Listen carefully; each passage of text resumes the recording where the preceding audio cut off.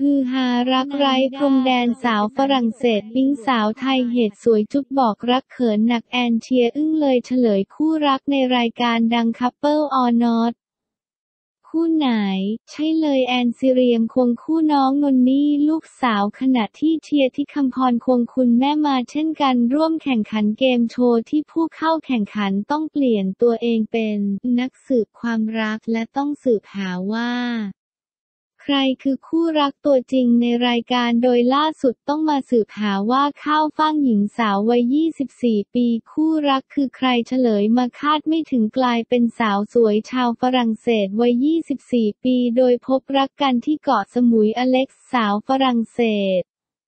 มาทำธุรกิจที่สมุยสองปีแล้ว ซึ่งทั้งคู่ต่างก็เคยมีแฟนทั้งผู้หญิงและผู้ชายมาแล้ว รักได้ทั้งชายหญิงไม่เกี่ยวกับเพศ เข้าฟ้างเผยด้วยว่าเจอกันครั้งแรกที่งานวันเกิดเพื่อน วันนั้นเสียใจจากแฟนเก่า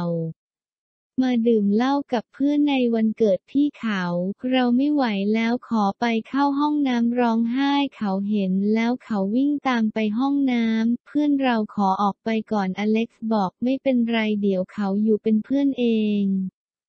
เราก็คิดว่ามึงเป็นใครจะมาอยู่กับกูทำไม เราไม่รู้จักเราเสียใจอยู่ไม่อยากรู้จักใครทั้งนั้น เพื่อนไม่อยากอยู่กับเราแต่เขาอยากอยู่กับเราน่าจะปิ๊งกันครั้งแรก ข้าวฟ่างเผยที่มาเหตุพบรักกับสาวต่างชาติก่อนคบหากัน ความรักเกิดขึ้นได้อย่างไรข้าวฟ่างบอกไม่ถูกแต่รู้สึกโดนใจคนนี้โดยอเล็กซ์เป็นฝ่ายมาจีบก่อนไปเที่ยวด้วยกันเขาเป็นคนสนุกสนานเลยชอบด้านอเล็กซ์ เปิดใจความสัมพันธ์ไม่รู้เหมือนกัน เขาเป็นคนตลกแล้วก็สวยทุกอย่างมันเป็นไปเองโดยธรรมชาติ อเล็กซ์เผยด้วยว่าคิดว่าครอบครัวไม่ว่าอะไรพ่อน่าจะพอทราบว่าเราคบกันโทรบอกแม่ที่ต่างประเทศก็ตื่นเต้น ทุกคนก็โอเคตอนนี้คบกันมาหนึ่งปีแล้ว อเล็กซ์บอกว่าดีใจที่เจอข้าวฟ่างและฉันรักเธอส่วนข้าวฟ่างก็บอกว่ารักอเล็กซ์เช่นกัน พร้อมจูบกลางรายการทำเอาเขินกรี๊ดกันลั่นทั้งรายการ งานนี้น้องนนนี่ลูกสาวแอน